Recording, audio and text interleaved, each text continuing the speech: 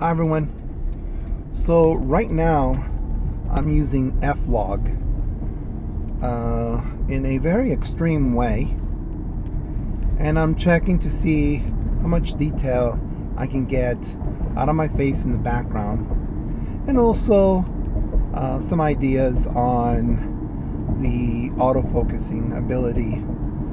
So I did a previous test and you'll see it on my channel where I have basically the same, same settings except for it was in Acros with the red filter.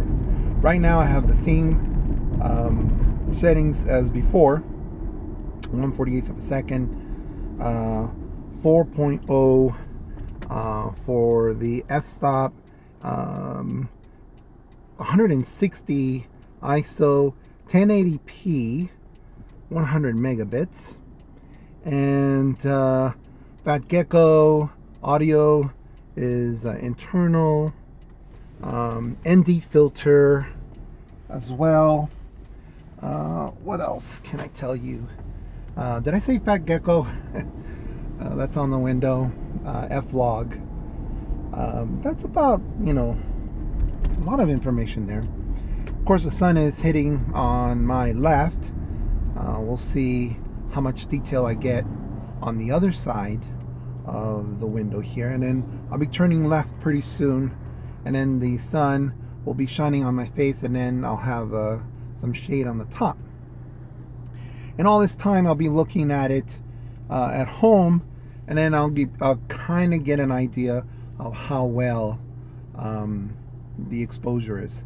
So the way I did the exposure basically I have to take it off of the Fat Gecko and then um, I'll get a sense. The cool thing it has, you know, um, a built-in uh, view monitor, um, internal view monitor, and so um, what I'll do is I'll look in I'll look in the viewfinder and adjust it accordingly. So I'll put my hand uh, where I think the exposure might be, and then adjust the the um, the exposure with um, oh, actually, I made a mistake.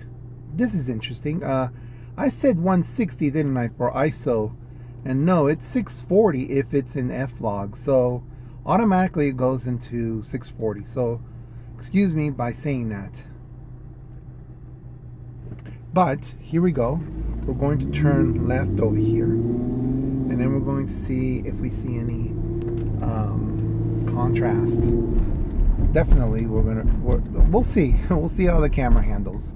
Um, um, I've done this before with like the X uh, T T3 and the X100 probably the X100T or S and also the XE3 and um, maybe not the X-T3 but most Fuji cameras they're a bit disappointing in terms of the autofocusing um, the continuous autofocusing, and also the exposure in this type of contrast situation. You have to almost get it right.